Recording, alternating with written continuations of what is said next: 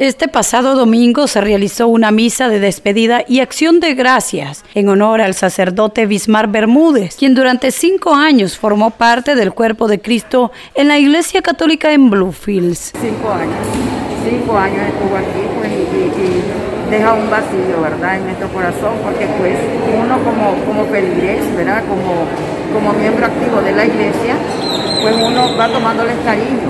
Su entrega durante varios años marcó un legado que quedará reflejada en las buenas obras realizadas en diferentes sectores sociales.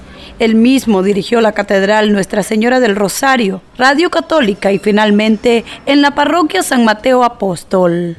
Una experiencia muy bonita, muy acogedora, gente muy calurosa, muy amable, muy respetuosa, muy tolerante. Aprendí a convivir con ustedes y aprendí cómo conviven y cómo se toleran y cómo se respetan entre ustedes, que eso es lo más importante y que es una enseñanza, una lección para nosotros los que no somos de aquí. Los feligreses de la Iglesia Católica destacaron la labor humanitaria que realizó durante su periodo por la zona caribeña. Ahora deberá retornar a su lugar de origen Boaco, donde fundará una nueva parroquia que estará a su cargo. La nueva misión que mi obispo Jorge Solórzano me ha encomendado es empezar de cero, fundar una nueva parroquia en mi diócesis que llevará eh, el patrocinio, el acompañamiento de San Agustín de Hipona.